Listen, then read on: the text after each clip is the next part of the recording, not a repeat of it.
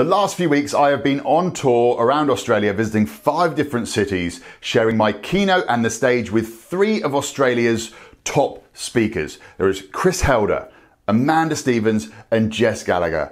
And while I love their keynotes and I love their content. What has fascinated me more is trying to break down and analyze what it is that takes a good speaker and makes them great. These, these three are regarded as the top speakers in Australia. So I've found out a few things. I've learned a few lessons, things to, that are going to give me that extra edge, allow me to improve as a speaker. And I want to share some of those things with you here on this video. Now, for me to list all of the things that I discovered, it would, it would be like an entire course in itself. It would be like a feature length movie of a video. So instead, I'm going to share with you three ideas, three things that I noticed that were consistent across all speakers. So the first one is this, and that is simplicity. They may have a big idea, but they make that big idea a simple sentence or a simple slogan that somebody can take immediate action on. I think that a really good example of this was Chris Helder. He's, his simple bumper sticker slogan was about having a useful belief. Obviously, his keynote elaborated on this and he told more of a story, but ultimately, he had this one actionable step that the audience could take away, which was about having a useful belief.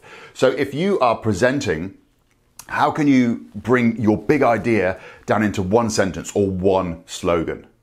The second thing was energy, and that was about having a pre-decided type of energy that you're going to bring to the stage. Now, what I'm saying by this is it's not about jumping up on stage and leaping around all over the place, but it's about being very deliberate in your energy, having an energy that affects the audience. You see, energy is contagious. We can take the audience on a journey. We can change their experience by just bringing a completely different energy when we walk up on stage. I mean, I can even do it on video now. I can change my energy and it gives a completely different feel.